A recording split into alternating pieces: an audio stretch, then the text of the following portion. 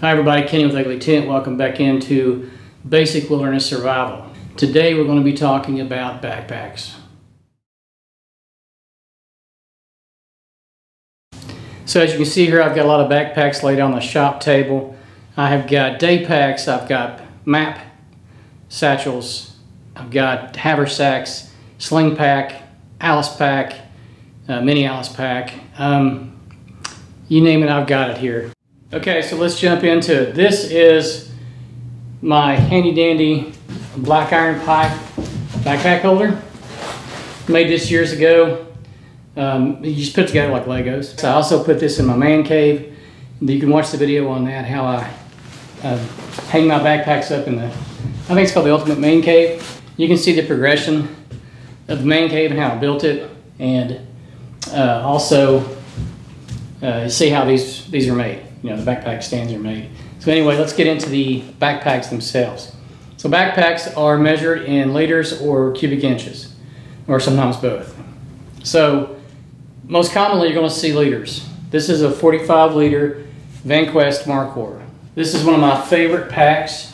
This is my preferred overnight pack. 45 liters is a really good size, in my opinion, for overnighting. However, this has a lot of attachment points. This is what this is, the MOLLE webbing on the side. And you can see it here too. There's MOLLE webbing on this side. So there's plenty of ways to add more to this bag with the MOLLE attachments. So this right here is the, the MOLLE webbing is cut. It's about an inch wide. And it's just a, basically a cut in the fabric that you can lash a MOLLE strap. So this is a MOLLE strap here.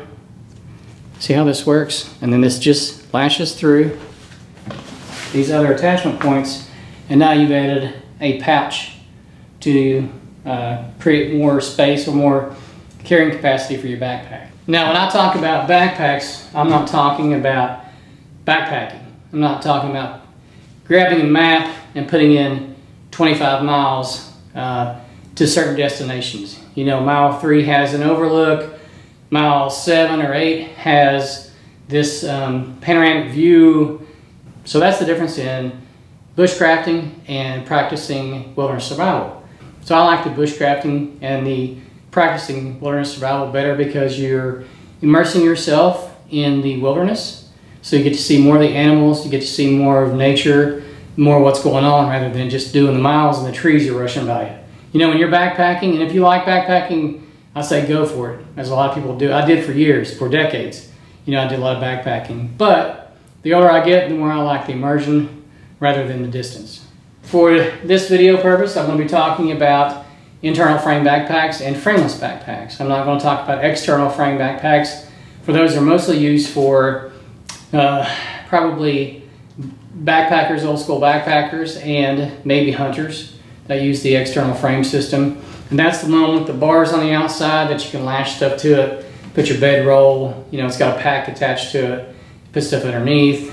It's just an old school way of using a backpack. And I, my buddy Bob, hello Bob in Berkeley, um, they lo he loves an external frame pack. So anytime we would go out in the woods, uh, go for a survival weekend or whatever, he would borrow my external frame backpack. And we did some really good stuff. We did some extreme cold, like this before I videoed everything, we did some extreme cold uh, wilderness adventures. Um, it was probably the coldest I've ever been in my life was with my buddy Bob. But anyway, uh, here I go again, getting, on, getting off track. So we're going to talk about internal frames and frameless packs. This is an internal frame pack. So this is an internal frame pack, and you can see it's got stays inside here. There's like either plastic or there's going to be some kind of wire system on the back side or inside here against your back to where it, it keeps its shape. You know, it'll stand up on its own.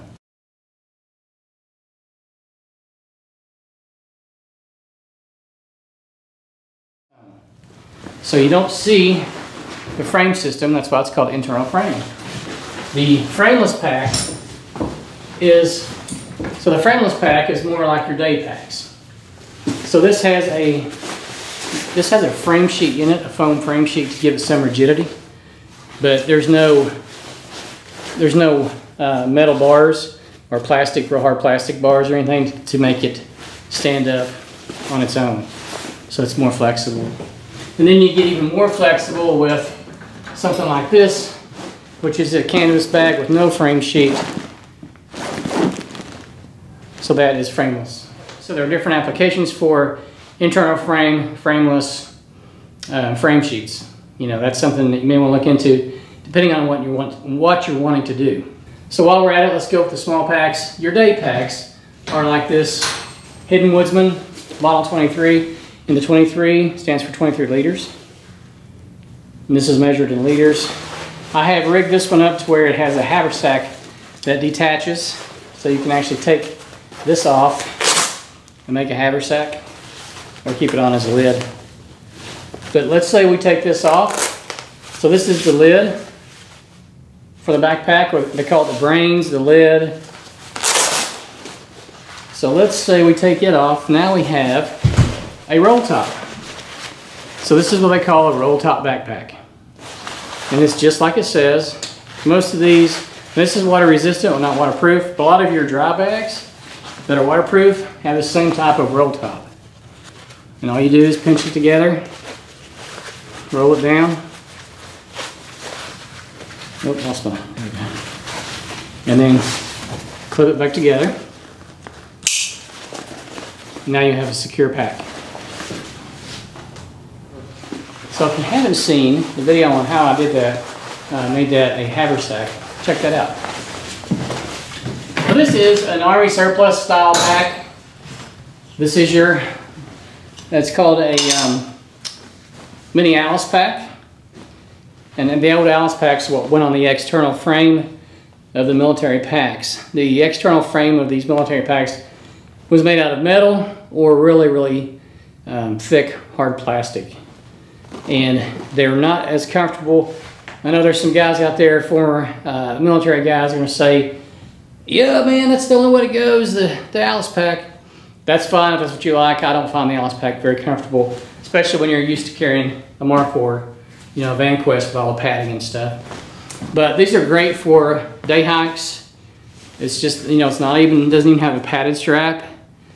This is great for a bug out bag. This is great for a get home bag, keep in your car. And you can usually tell a mini Alice packs or an Alice pack because of the pockets. It's got this specific look to it. It's got your lid, and it's got your three outside pockets and then the inside uh, pocket itself, main compartment. Now this bag here is my personal EDC bag. EDC is everyday carry. It's an acronym for everyday carry. It's a sling bag that I carry. It's by VanQuest. This is basically taking the place of the briefcase. Most men now carry an EDC bag rather than a briefcase. And this is concealed carry compatible. In the back I have my concealed carry. The other great thing about this is I can add, it comes with both straps, I can add another strap to this point here and make this a backpack. Then since I don't wear it as a backpack, I wear it as a sling pack. That's how I keep it. So while we're talking about sling packs, let's look at this one.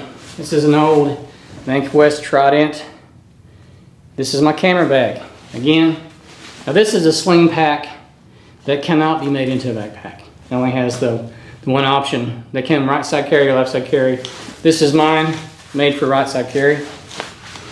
It's basically what it says. It's a sling pack. Sling it over your shoulder and go.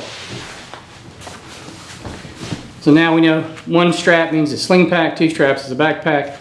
These are called grab handles. And this has a lot of grab handles on it. That's the one of the great things about VanQuest is they include uh, a lot of grab handles, even on their urban EDC stuff. You know, if you want to carry this like a briefcase, it's got a grab handle on that side, grab handle on this side. It's got them everywhere. I love this pack. This is one of my favorites. So this has got my concealed carry in it, an iPad, my calendar, um, papers and information, and then in the front pocket I have got all kinds of stuff. I've got more VanQuest stuff. See, it's got a little hook and loop ways to carry things. You know, this is this is the bag I live live out of every day. And that's why they call it everyday carry. So if you're new to this prepping and survival, EDC is a big buzzword or buzz acronym, everyday carry is the phrase. Okay, so now we've talked about sling packs, talked about uh, frameless backpacks, internal frame backpack. Let's talk about haversacks. This is a Hidden Woodsman basic haversack. This is just your very basic haversack. And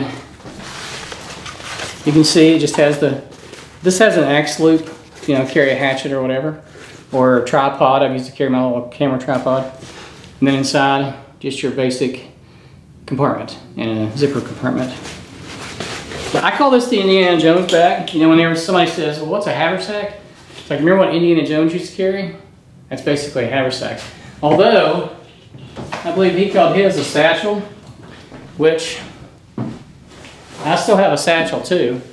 So the satchel I carry is this. This is just your basic canvas satchel, a little bit of leather on it. It's a little more dressy. I use it for business uses. Use it to carry a laptop, just your, your basic stuff that's not wilderness related. But you can still use a satchel for the wilderness. So real big right now is the um, beloved fanny pack, waist pack. These have become very fashionable right now, even for men, and they're great for concealed carry. So more than likely, if you see a man carrying a fanny pack, waist pack, whatever you want to call it, he's probably got a gun in it, which he's probably uh, sheepdog anyway, which means he's got his concealed carry, he trains with it. He's probably not the bad guy, you know. Use your own judgment, but more than likely, if someone, if there's a tough looking dude with a fanny pack, he's probably a good guy with a concealed carry. And as we talked or discussed earlier, there are numerous, whew, unlimited amount of pouches and, and things you can add, accessories for men basically, you can add to your backpacks. And I love my accessories. You uh, know. This is a hydration bladder. This is basically designed to hold a water bladder and a few of your items like wallet and keys or whatever. If you're trail running, going for a quick day hike, uh, if you don't want to carry a lot, just want to go lightweight. This is a, these little hydration packs are nice little packs. There's expensive ones, like you can get like a CamelBak, which is really expensive. They're high quality, but they're expensive. Or you can get a knockoff. And if you're not using it a lot, I mean, this is one from my shop. It's $23.99. You know, and I'm not trying to sell this. I'm just saying there are alternatives. Tons of them on Amazon, all over the place. Butt packs. Man, it's one of my favorites. There's so many uses for the butt pack. And this can be used in your vehicle. This can be mounted to MOLLE systems in your vehicle if you do any overlanding. Uh, this has got the Alice clips on it, the old school Alice clips. But you can attach these real easy to uh, any pack or, or attach it to make it, you know, on your belt system. There's ways you can use this. And they make it, I have a new one I've sold out. There's a, a newer version with a MOLLE attached to it that's not canvas, it's nylon. I like the canvas. I just think the canvas butt pack is just really cool. And it's exactly what it says. It's designed to wear on your backside, close to your butt. You know, it's kind of like a reverse fanny pack.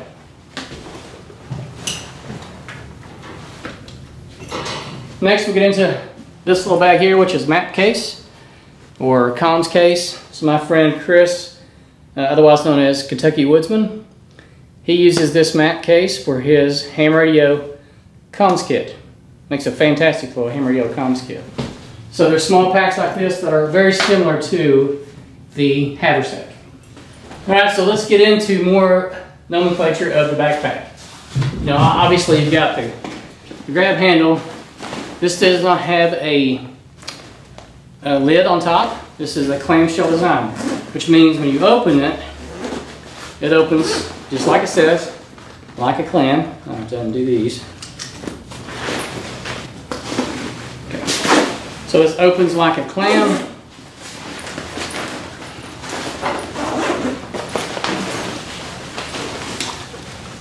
Then you've got everything on the inside. So you can access very easily and very quickly all of your gear. You know, this goes all the way to the bottom. And this has a sleeping bag compartment in the bottom. A lot of your overnight packs will have a separate place for sleeping bag or um, if you have a rain fly that's wet and you don't want the rest of your gear to get wet, stuff it in here. I've done that. Uh, like I said, this thing's been on many adventures with me, but you can tell by the dirt. We're going to go over how to clean these too. The side pockets are designed for your water bottles or anything that you want to carry in here and strap down that you don't want to put on the inside, whether it be a folding saw, a small hatchet, something like that. Now the waist belt itself has MOLLE attachment points. And I have got on this one a dump pouch. This is another one of those accessories. If you're not familiar with, these things are wonderful. All it is is a little pouch that folds out to make a bigger pouch. This is great for water bottles, canteens, cook kits, anything. Tinder gathering, you know, if you're out trying to gather uh, tinder and uh, pieces of kindling for your fire, you can stuff them in there. You can use it for a shell bag for range shoot. You know, if you're at the range shooting, use it to put empty or spent casings in or or whatever. You know, there's just countless numbers, countless number of things you can use these dump pouches for. And there's a good, and there's another good example of MOLLE attachment points on the waist belt. So if you notice, a lot of your day packs won't have a waist belt on it. You know, it's just your straps basically. Where a, your larger packs, your bigger packs, have a nice comfortable waist belt on it. As you can see on this one, it is adjustable. You can adjust the placement of the shoulder pads. You can move them up, move them down. I've got them exactly where I want them. So if you're not familiar with backpacks, they have a quick release strap right here. You just pull up on it and it releases. Pull down, and tightens it up. Okay, so I'm gonna release it. Now obviously I don't have anything in this pack, so it's not heavy. And there's different ways to put a pack on. I'm not gonna go into that. There's a military flip over your head, put it on. You can set it on a log and walk into, you know, uh, back into it if it's heavy. There's all kinds of ways to put a backpack on. All right, so let's put this thing on. All right, once we get it on, first thing we'll do is attach or, or um, secure our waist belt. So I'll put the waist belt on, tighten it up, get it even, get the buckle in the middle. Now the purpose of the waist belt is to carry the load. This is really what carries your load on a backpack, not the straps. So if you notice, if I take this strap off, it pretty much stays on me because of the waist belt. And that's what you want. You want something that's going to carry the heavy load, not the straps. They work together. Obviously the straps help also. Tighten those down. Snap it in. This is your sternum strap. This keeps the um, backpack straps from riding to the outside. This keeps them centered where you want them. You can adjust that. Most of your backpacks these days have the emergency whistle on it, which is pretty handy. So let's talk about load stabilizers. See that strap right there? See how I can tighten that up? Same with the other side. Where is it at? Yeah, right there. I can tighten it up. And what that does, that draws my backpack into my back. You know, brings, here's the backpack, here's your back, it brings it into your back. Just like if you're carrying a heavy box, you've got the box out here, it hurts your back. But if you put the box close to your body and carry it the way you're supposed to, it doesn't hurt your back. It doesn't hurt near as bad as if you're trying to carry something out this way. So that's the purpose of the load stabilizers. You've got them here on the side and here on this side too. And again, those are really to bring the body of the backpack into your body. It just makes it more like you're, you're one. You know, it really tightens it up. And there's, they're all over. You know, you can find stuff.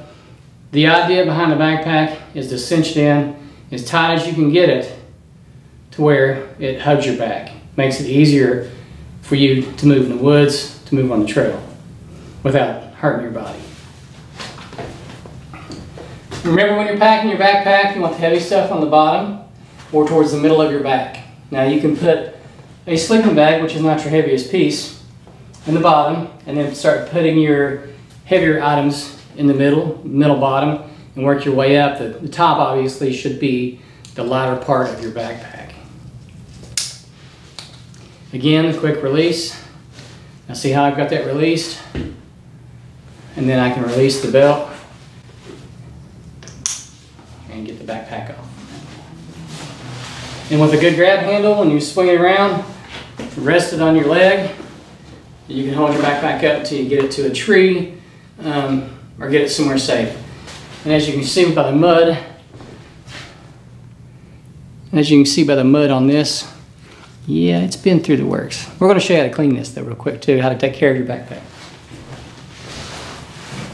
So this is the point in the presentation where I would normally say, any questions? So this is what I do with old headlamps. I put an old headlamp on here because the way the headlamps are designed for straps, they usually fit the backpack straps really nicely. And you can see how that just rides on there. This lives on there. I charge it up before I go out, but actually it's not been charged in a long time. And it still has a lot of light left on it. Huh. Very nice. So, and then on the other side lives my Leatherman. This is actually Dad's old Leatherman. And I've got this on there with Velcro straps as well as using the MOLLE strap that was on the uh, strap itself. All right, so let's talk about how to clean the backpack. Get you a brush, wipe off the loose stuff. Okay. Just get water, spray a little bit on there. Just your average rag, an old t-shirt, for wiping it down. It doesn't come off with that, you're going to use your basic like dishwashing liquid or hand soap, something real mild. You don't want anything abrasive.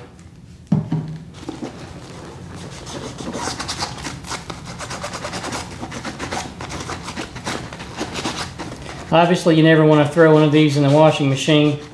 You'll destroy the glue and the stitching and all the other stuff on it.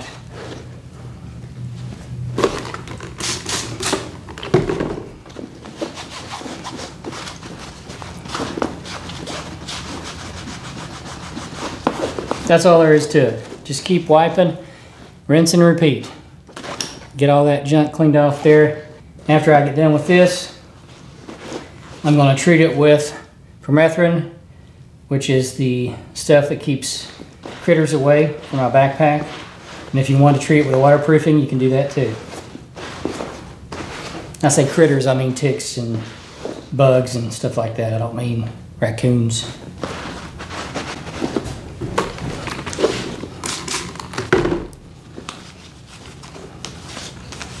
So one more thing to discuss. The reason I pick these type backpacks, the military grade backpacks, they're more rugged. You know, they're, they can handle the abuse. Uh, I don't think I have. No, I have another VanQuest that's been dropped off or fell off of a um, side-by-side. We were going through the wilderness and it just completely fell off, rolled down a hill. Picked it up, it was fine. Threw it in the back of the side-by-side -side and secured it better this time and it did fine. It didn't have a hole or a scratch or tear in it. If you had done that with a um, high-end backpacking backpack, like a uh, well, I don't want to say names, but some of your high-end companies, uh, it would have tore to shreds, you know. But those backpacks are lightweight and they're designed for comfort. They're not designed for durability or designed to be rugged, so they're designed for high mileage. If somebody's doing 15, 20 miles a day on the Appalachian Trail, uh, or even 10 to 12, that's a lot, um, then they want that backpack rather than these military grade backpacks that the bushcrafters and the survivalists, wilderness survivalists like to use. So I hope that helps. Thanks for watching the video. Don't forget to subscribe, like, and share. I think the next one's going to be sleep systems. So look forward to that. We'll talk about sleeping bags and sleep systems. Thanks for watching. See you on the next one.